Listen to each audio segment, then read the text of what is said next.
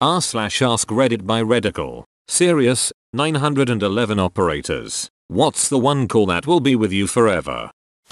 Mobile so forgive the formatting. Also not a dispatcher but my mother was and I used to go sit with her in the center while she worked. The worst call I ever witnessed her take was a fatality on the interstate. She received a call said there was a major collision. She entered the call and police and fire were dispatched. She then took another call about the same accident however this call was from someone attempting to help the people involved in the crash. The person trying to help was the mother and father of the daughter in the car. The mom and dad were following the daughter and boyfriend home when the accident occurred. Dad was trying to help the daughter and boyfriend, and mother called 911. I can clearly remember my mom had this flip chart where she would ask questions and based on the answers she could flip to get medical help or basically instructions on what to tell the caller to help them in the situation. My mom asked if she was breathing, if she was bleeding, so on and so forth, basically triaging the patients. I will never forget when my mom told the caller not to move the girl and the mother said her head is gone. My baby, oh god, my baby. It was the most shrill gasp sob scream I have ever heard. The pain and inhuman anguish that poured from that woman.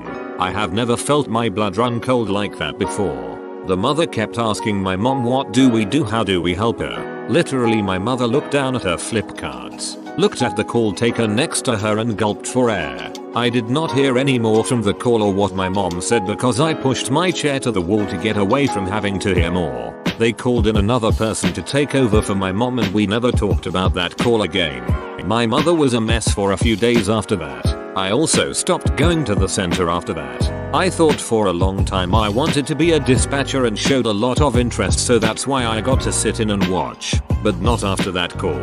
I want to give you and your mom both a big hug. I know it's a part of that job. And she's an angel for her service. But damn. AWW thank you. That time a guy tried to convince me he fell on the vegetable lodge in his a-hole. Favorite quote that night was, before you come in, grab the Halligan. Or when I had a lady argue with me because she's lived next to the train yard for 54 years and is complaining about how much noise the trains are making. If you're going to call us and complain about trains, in a train yard, being trains there's nothing we can do mom. Less fun was when I had to instruct a 13 year old how to do CPR on his definitely dead father until an ambulance could arrive. Took 10 minutes for the cops to arrive. Kept asking me why it wasn't working. That one had me drinking when I got home. Christ, you had me laughing right up to that last one. Sustaining the illusion that everything is going to be okay just so the kid doesn't freak out must be incredibly difficult. He was a champ but yeah, no fun. I work with a nurse line. Finding people places to be seen after a nurse talks to them. I had a woman raped at her job by a coworker. She had no idea if he was still around. She didn't want to go to the nearest medical facility because he might show up there. I had to do some quick digging.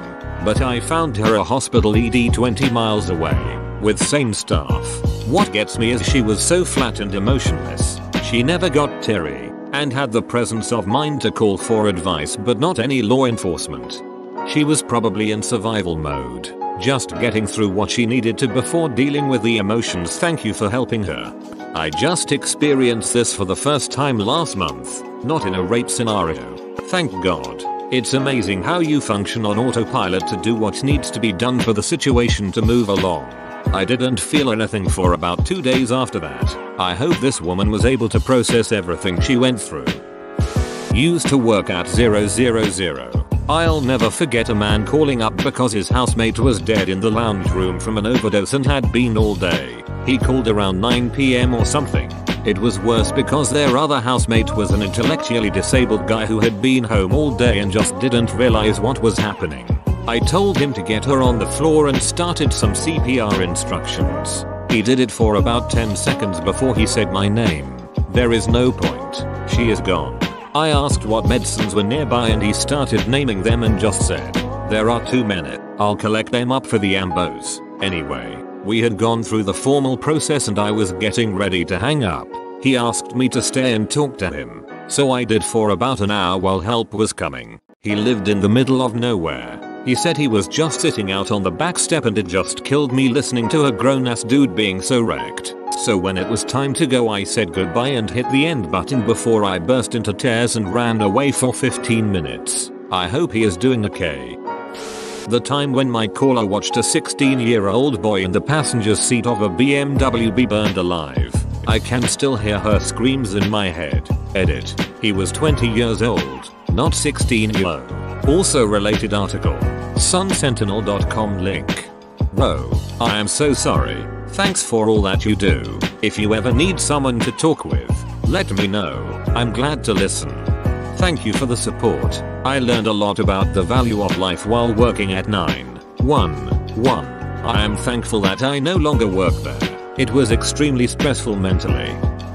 I copied pasted this from last time to save my fingers sewn work lol hope you enjoy it. It's one that will stick with me for a while. The worst one. I'll hold on to that one for a while longer. One that sticks out in my mind. It was my first week of being released on my own as a call taker. A 14ish year old girl calls to tell me her friend and her are being followed by a guy near the railroad tracks and he kept pulling out his penis and touching her friend on the vagina area. She was walking slightly ahead of him and her friend with her hood up and her phone tucked in against her ear.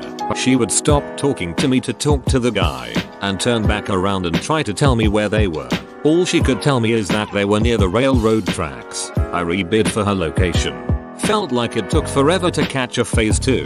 Okay, now I know her general area. Wrote the run to the nearest house my pointer fell on so we had a start point. Putting in rear of to give the officers a good reference. I had already sent the run up and was giving updates as I talked to her. She was trying her darndest to make sure the male didn't know she was on the phone. To top it all off with it was dark outside. She couldn't figure out which way they were walking, east or west, so I told her to pick a direction and when she came up on a good landmark to tell me, by this time, the helicopter is up and is bearing down on the area. I got a quick description of the guy and told her to keep it moving. Now I can hear the helicopter over the phone. Put it on the run. It gets sent out helicopter is circulating the area so we are all pretty close. Officers are driving down the side road of the railroad tracks and she finally tells me she can see the highway. He narrowed it down even closer. Helicopter finally spots them off in the woodline and beelines the officers to them. Guy was arrested, he had a gun too. Kids are safe. And the whole ordeal took about 6-8 minutes tops. It was scary to me because I have a daughter that age. And as hard as I try, I still get emotionally invested in these calls. I have definitely had worse calls, but that is the one that tugs on my heartstrings. That's a rough one. Solid dispatching work though. That kind of detail for responding units can make a night and day difference in the outcome of the call. Too often I see people become complacent and just enter whatever address the phase 2 hits on and say they'll figure it out when they get there. I had to stay on the phone with her. I wasn't about to leave her basically alone in some weird spot with some ducking weirdo following and messing with her and her friend. I figured if I kept rebidding and kept her on the phone I could do my little part from the room. That and if something real shitty would happen the audio would be recorded. Ducking weird I know. Maybe catch some background noise to get a better idea where they are. Especially when I heard the ghetto bird I knew the boys were close and I was a lot more comfortable when I saw on the run they had eyes on and could direct the boys in there better than I could.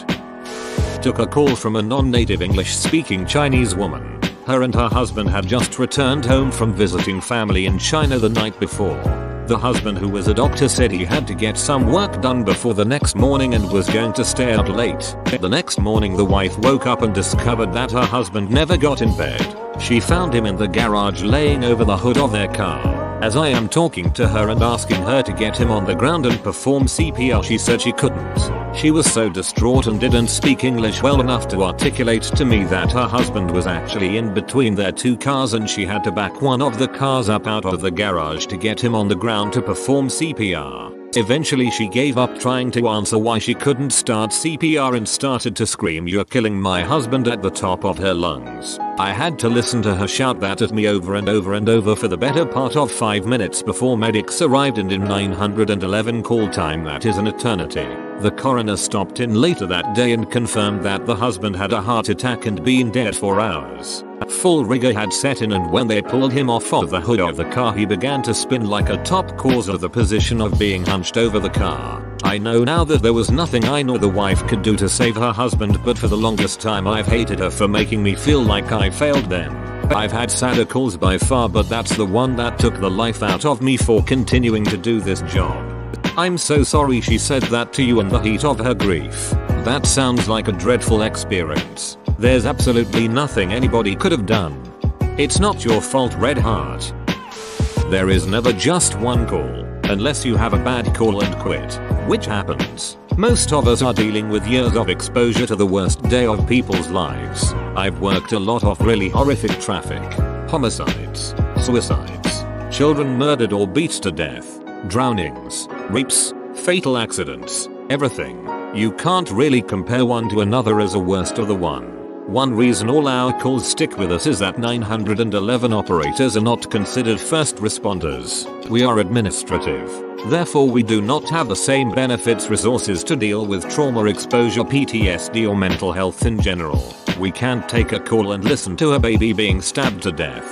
The officers that respond to the scene are eligible for therapy services but we are not. Please consider writing to your elected officials to help us get recognized as first responders so we are eligible for the mental health care benefits other first responders receive.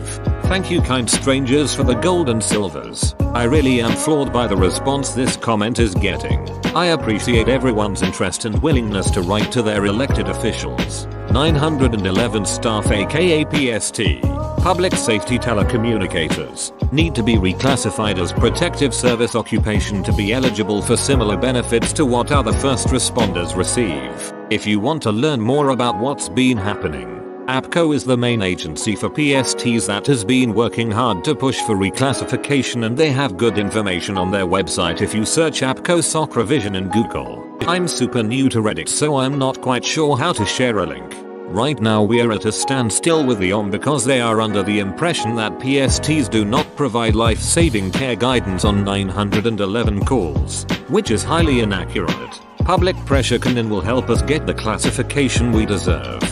How are 911 operators not considered first responders when they are literally the first ones to respond? I wasn't aware that they didn't get the same benefits. Thank you for all you do. Many departments have separate benefits for civilians versus sworn field response employees. Reclassification will help us get the same benefits. I took a call for a vehicle in the ditch. All I could get out of the guy was the old church road out in the county.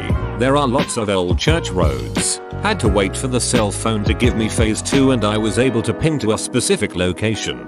The guy said it was a bad accident. I had no idea how bad he meant. I sent first responders and ambulance and my deputies. Turns out a kid my age, about 24, was out drinking and tried driving home. Smashed into a guardrail over a bridge and the kid wasn't wearing a seatbelt so he was ejected over 60 feet from the wreckage of his vehicle and had been laying out in the snow for about an hour at that point. Last I heard, he was paralyzed and one of his legs was amputated.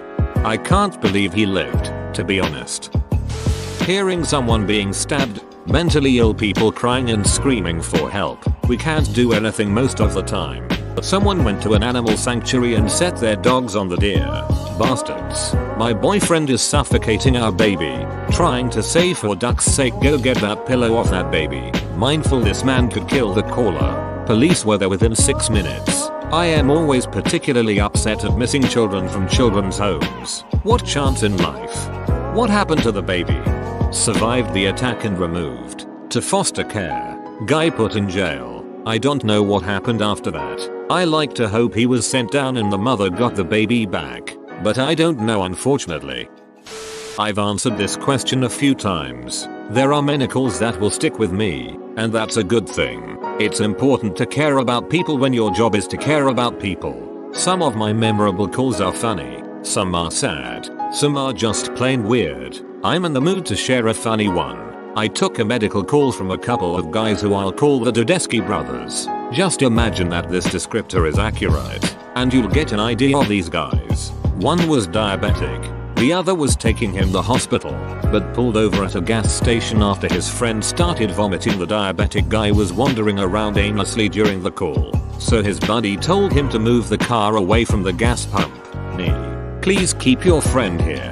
Don't let him drive. Bro. Come on bro. Our car is like right in the way of this gas pump. And it's getting kinda crowded. Nee. AWW. That sucks. You can't move the car yourself when I get off the phone with you. Bro. Um. Actually, my friend is, like, getting in right now. It's cool. Nee. Dude. Do not let him drive. Have him come back here. I want you to keep an eye on him in case he gets any sicker or faints.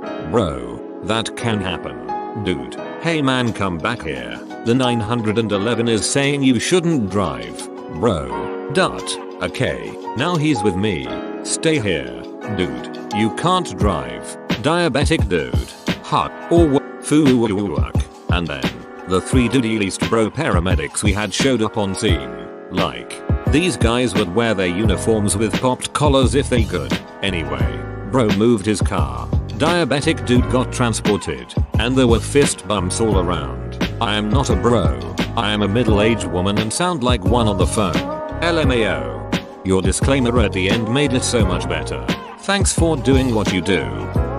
I lost my daughter a few years ago so calls involving parents and children would get to me but this one would haunt anyone. A resident of a high-rise called to tell us that someone had left a bag of dogs or cats in the stairwell but they were afraid to open the bag. I explained that animal control when no one was in danger was not a high priority call. The caller got her husband to come and open the bag. A woman had put her emaciated 13 year old in a garden garbage bag and left him in the stairwell of her apartment building. Jesus Christ. What the duck? Was he alive? Just barely. And now my PTSD kicks in. Getting a call from the father of a shooting victim who found out his daughter was dead via Facebook and further, not being able to tell him his grandchild had been kidnapped by the ex-boyfriend but not being able to confirm anything thanks to poor quality policy and a lieutenant who was more concerned with calling the chief and talking than handling what turned into a father destroying a homicide scene. I've had over a dozen suicides on the phone in 6 years. And that father on the phone still haunts me. There are a number of calls that still stick with me. And every dispatcher has that same issue. Were they able to find the grandchild? Yes, he ended up safe and sound. And we pursued the male suspect for about an hour until he turned the gun on himself. Just a terrible day all around. Thanks for watching this Reddicle video. Subscribe for the best Reddit videos straight to your feed.